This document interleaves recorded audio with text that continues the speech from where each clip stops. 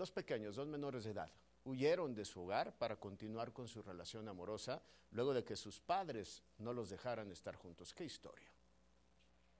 Dos menores de edad dejaron atrás los malos prejuicios que sus familias tenían por llevar un noviazgo prohibido.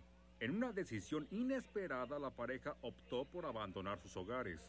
Tomaron sus mochilas y compraron unos boletos de autobús para salir de Cotija, Michoacán, y vivir su amor con plenitud en Jalisco. Las horas pasaron y la preocupación de los padres creció al pensar en un instante que les había pasado algo. Sin embargo, al pensar más detenidamente, se dieron cuenta que sus hijos huyeron juntos. El autobús llegó a la central nueva de Tlaquepaque.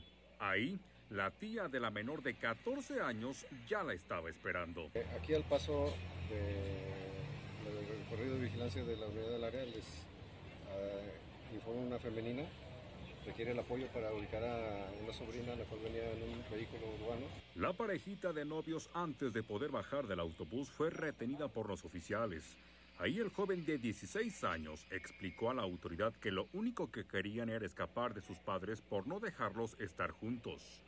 Ambos fueron entregados a sus respectivas familias no sin antes pasar al Centro de Atención para Niñas, Niños y Adolescentes de Tlaquepaque, donde personal de trabajo social y psicología inició una valoración primaria para garantizar su bienestar emocional y social. Para imagen, Israel Orozco.